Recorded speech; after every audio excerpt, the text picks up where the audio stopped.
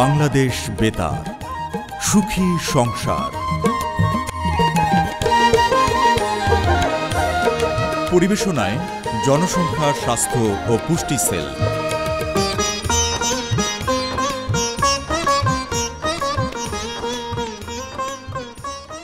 সুপ্রিয় শ্রোতা বন্ধুরা কেমন আছেন আপনারা সবাই? নিশ্চয়ই ভালো। আপনাদের সবার সুস্বাস্থ্য এবং দীর্ঘজীবন কামনা করে শুরু করছি জনসংখ্যা স্বাস্থ্য ও পুষ্টি বিষয়ক ম্যাগাজিন অনুষ্ঠান সুখী সংসারের আজকের আয়োজন।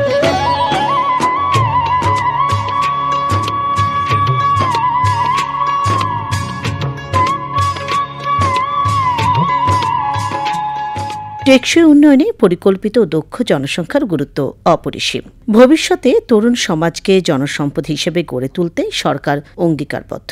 তরুণ সমাজের শিক্ষা, জ্ঞান, দক্ষতা বৃদ্ধির পাশাপাশি তাদের প্রজনন স্বাস্থ্যের পরিচর্যা নিশ্চিত করতে নানা কর্মসূচি বাস্তবায়ন করছে বর্তমান সরকার। আর এই বর্তমান সরকার দেশের মানুষের জীবনমান উন্নয়নে নিরলসভাবে কাজ করে যাচ্ছে। শ্রোতা বন্ধুরা, আয়োজনের শুরুতেই শুনব স্কুল, কলেজ ও বিশ্ববিদ্যালয়ের শিক্ষার্থীদের নিয়ে বহি ধারণকৃত সচেতনতামূলক প্রামাণ্য প্রতিবেদন তারুণ্যের কণ্ঠ।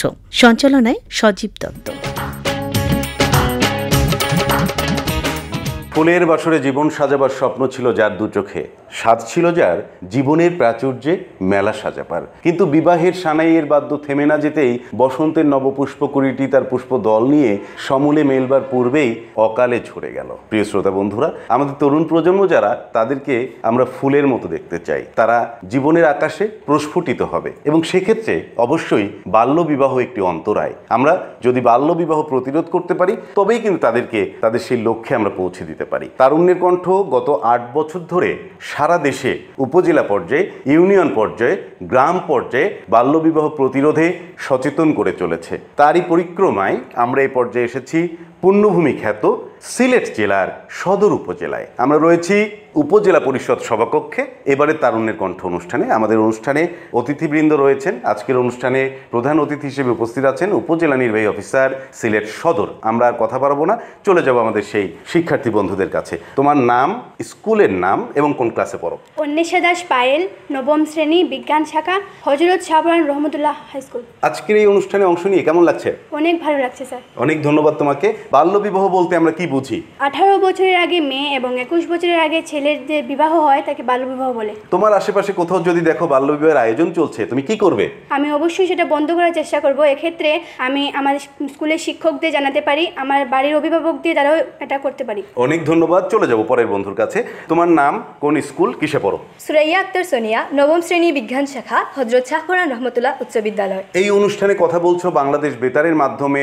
বাংলাদেশ বেতার এখন মোবাইল সেটের মাধ্যমে এফ এম রেডিওর মাধ্যমে সারা দেশে এমনকি বিশ্বে চলে যাচ্ছে। তোমার কণ্ঠ ইথারে ইথারে ভাসছে। কেমন লাগছে? অনেক ভালো লাগছে। তুমি আমাকে একটু জানাবে যে বাল্যবিবাহের কি কি কারণ রয়েছে? সচেতনতার অভাব দারিদ্রতা তাছাড়া ইফটিজিং এর ভয়ে আমাদের অভিভাবক আমাদেরকে অনেক সময় বাল্যবিবাহ দেন। তাছাড়া ঘরের বড় অভিভাবকদের জন্যও তাদের স্বপ্ন পূরণের জন্য ছোট ছোট সন্তানদেরকেও অনেক সময় কম বয়সী বিবাহ সম্পন্ন করা হয়। অর্থাৎ পরিবারের প্রবীণ যারা রয়েছেন নানা নানি রয়েছেন দাদা দাদি বা দাদু ঠাকু- ঠাকুমা রয়েছেন ওনারা অনেক সময় চান যে একটু নাচ জামাই দেখে যায় তাই না? হ্যাঁ, হ্যাঁ। তো এটি কি তারা ভালো করেন? না না একদমই না। আমাদের জন্য আমাদের স্বপ্ন আমাদের যত চাহিদা আছে সবগুলোই সব আমাদের ধ্বংস হয়ে যায়। আমাদের বাল্যবিবাহ প্রতিরোধে অনেক বেশি সচেতনতামূলক পদক্ষেপ গ্রহণ করতে হবে। অনেক ধন্যবাদ। আমরা চলে যাব পরের বন্ধুর কাছে। তোমার নাম স্কুলের নাম কোন ক্লাসে পড়ো? আমি অনামিকা কর্মকার বিজ্ঞান বিভাগে পড়াশোনা করছি এবং জহিরা এমইউ মোবাইল উচ্চ বিদ্যালয়ে। আজকের এই অনুষ্ঠানে এসে কেমন লাগছে? অনেক ভালো লাগছে।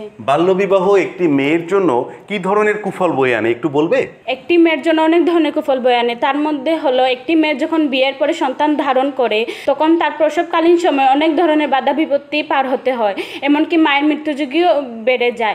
তারপর যখন সন্তান জন্মগ্রহণ করে তখন সন্তানটি বিকলাঙ্গ হতে পারে। তারপর মৃত্যুও হতে পারে। আন্তরিক ধন্যবাদ তোমাকে। এরপরে কে রয়েছে আমাদের সঙ্গে? চলুন কথা বলি। তোমার নাম স্কুলের নাম এবং কোন ক্লাসে পড়ো? আল ইউসা তাজিম স্কলারস মেজর টিলা কলেজ।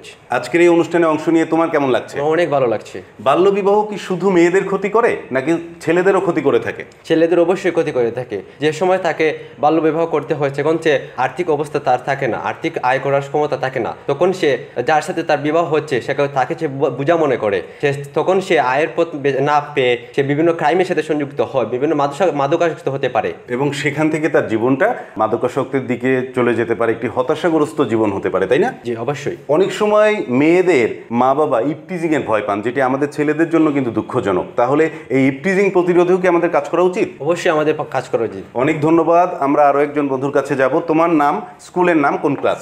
আমার নাম সুহাগ হোসেন রাফসান। আমি জহিরিয়া মুম্বাল উচ্চ বিদ্যালয় থেকে এসেছি। বাল্যবিবাহ প্রতিরোধে আমরা কীভাবে কাজ করতে পারি? বাল্যবিবাহ প্রতিরোধে আমরা বিভিন্ন পদক্ষেপ গ্রহণ করতে পারি। যেমন উঠোন বৈঠক করতে পারি সচেতনতা বৃদ্ধি করতে পারি তারপর পরিবারে বাল্যবিবাহের অপকার সম্পর্কে বলতে পারি। অনেক ধন্যবাদ এই ছোট্ট বন্ধুদের স্বপ্নগুলো পূরণ হোক, তারা এক একজন আদর্শ মানুষ হয়ে গড়ে উঠুক এবং তারাই বাস্তবায়ন করুক বঙ্গবন্ধুর স্বপ্নের সোনার বাংলাদেশ। প্রিয় শ্রোতা বন্ধুরা তারুণের কণ্ঠ প্রচার হচ্ছে জনসংখ্যা স্বাস্থ্য পুষ্টি সেল বাংলাদেশ বেতার ঢাকা থেকে। এ পর্যায়ে আমরা কথা বলব একজন সম্মানিত শিক্ষকের সঙ্গে। আপনার নাম এবং পরিচয়। একটু সংক্ষেপে বলবেন। আমি স্বপনচন্দ্র নাথ সিনিয়র শিক্ষক হজর সাপারান উচ্চ বিদ্যালয় বাল্যবিবাহ প্রতিরোধে আপনারা কীভাবে কাজ করছেন? আমরা আমাদের ছাত্রছাত্রী যারা আছে আমরা যদি কোথাও শুনি তার বাল্যবিবাহ হচ্ছে।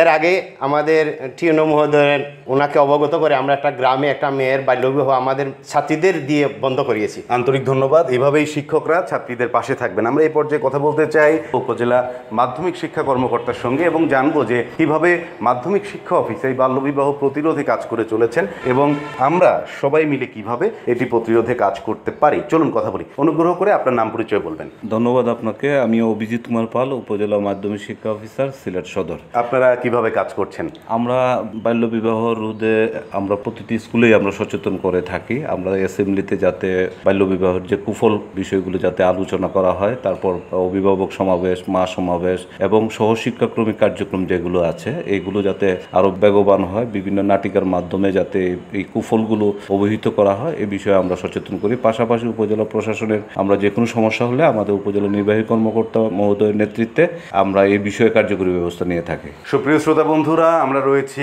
সিলেট সদর উপজেলায়। আমরা এ পর্যায়ে একটু বিশদে জানার চেষ্টা করব যে এই উপজেলায় বাল্যবিবাহ প্রতিরোধে উপজেলা প্রশাসন কীভাবে সচেতন রয়েছেন এবং সম্মিলিতভাবে আমরা কীভাবে বাল্যবিবাহ প্রতিরোধে কাজ করতে পারি। আপনাকে আন্তরিক ধন্যবাদ আমাদের অনুষ্ঠান আয়োজনে সহযোগিতা এবং অনুষ্ঠানে উপস্থিত থাকার জন্য। আমরা কথা বলছি উপজেলা নির্বাহী অফিসার সিলেট সদরের সাথে। আপনি অনুগ্রহ করে আপনার পরিচয় আপনার মুখ থেকে আমাদের শ্রোতাদের শোনাবেন। ধন্যবাদ। আমি নুসরাত আজমেরি হক উপজেলা নির্বাহী অফিসার সিলেট সদর হিসেবে বর্তমানে কর্মরত রয়েছি। আপনার উপস্থিতিতে শিক্ষার্থীরা খুব নান্দনিকভাবে কথা বলেছে। আপনার কাছে কেমন লেগেছে? আসলে আমি নিজেও মুগ্ধ হয়েছি যে আমাদের যে ভবিষ্যৎ প্রজন্ম যারা আসলে আমাদের মাননীয় প্রধানমন্ত্রীর যে স্বপ্ন স্মার্ট বাংলাদেশের স্মার্ট নাগরিক হতে যাচ্ছে। তারা আজকে তাদের বক্তব্যের মাধ্যমে কিন্তু তুলে ধরেছে তাদের যে স্মার্ট চিন্তাধারা, এখানে যেসব শিক্ষার্থীরাই কথা বললেন, তারা প্রত্যেকেই কিন্তু বাল্যবিবাহ যে কুফল, সেই বিষয়ে কিন্তু তারা অবগত রয়েছে, যেটা আমরা তাদের বক্তব্যের মধ্য দিয়ে এটা আমরা বুঝতে পেরেছি। আসলে পুরো বিষয়টি আমি আসলে নিজে গর্ববোধ করছি যে আমার উপজেলার শিক্ষার্থীরা প্রত্যেকেই এই বিষয়ে তারা যথেষ্ট সচেতনতা রয়েছে। আন্তরিক ধন্যবাদ আপনাকে। আপনি একটু জানাবেন সংক্ষেপে যে বাল্যবিবাহ প্রতিরোধে উপজেলা প্রশাসন, সিলেট সদর কীভাবে সচেতন রয়েছেন। বাল্যবিবাহ প্রতিরোধে উপজেলা প্রশাসন আমাদের দেশের অন্যান্য সকল উপজেলা প্রশাসনের মতোই কাজ করে যাচ্ছে। আমাদের বাল্যবিবাহ নিরোধ একটি কমিটি রয়েছে।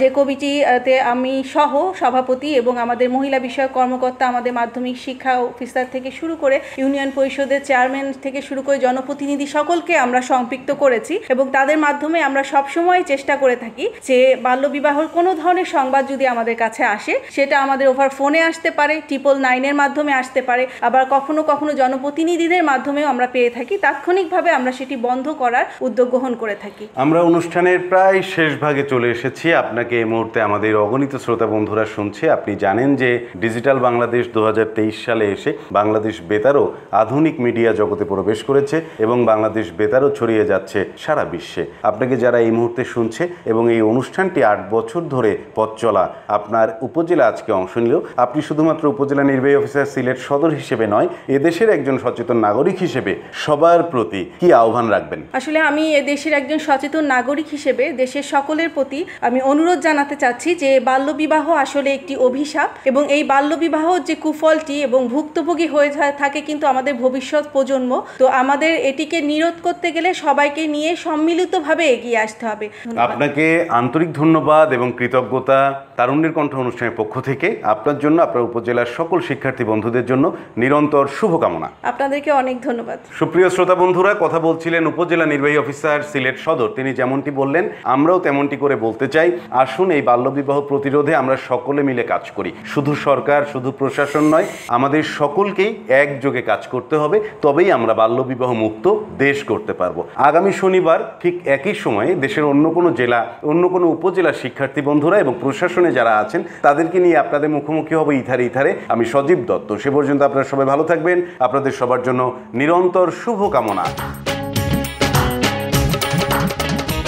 এতক্ষণ তারুণ্যের কণ্ঠে স্কুল, কলেজ ও বিশ্ববিদ্যালয়ের শিক্ষার্থীদের নিয়ে বহি ধারণকৃত সচেতনতামূলক প্রামাণ্য প্রতিবেদন শুনলেন। আশা করছি নিশ্চয়ই ভালো লেগেছে আপনাদের। জনসংখ্যা বৃদ্ধি নিয়ে সচেতনতামূলক গান শুনবে এবারে শিল্পী বাবু সরকার। গানের কথা লিখেছেন শাহাবুদ্দিন মজুমদার, সুর করেছেন মোহাম্মদ ইসাক ছেলে মেয়ে যা কিছু হোক, দুই সন্তানের বেশি নয়।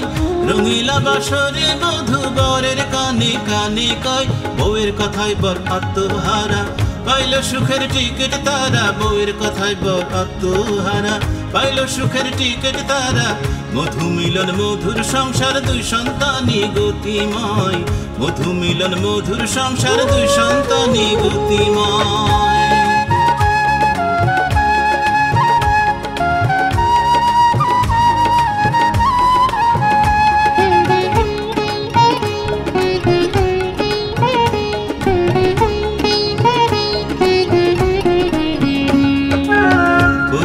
পরিবারে সন্তান বাড়ে জায়গা জমি বাড়ে না। আয়ের চেয়ে ব্যয় বেশি হয়, অভাব পিছু ছাড়ে না।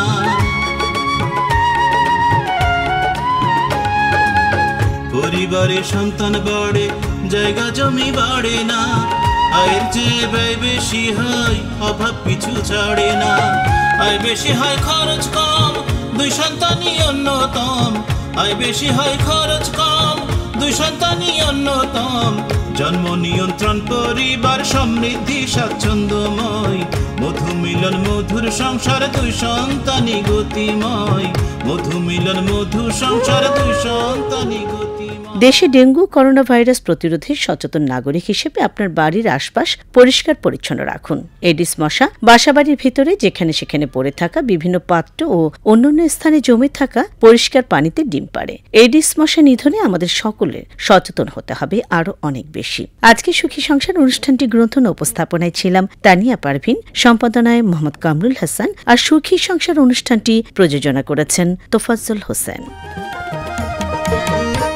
সুখী সংসার। অনুষ্ঠানটি শেষ হলো। পরিবেশনায় জনসংখ্যা স্বাস্থ্য ও পুষ্টি সেল।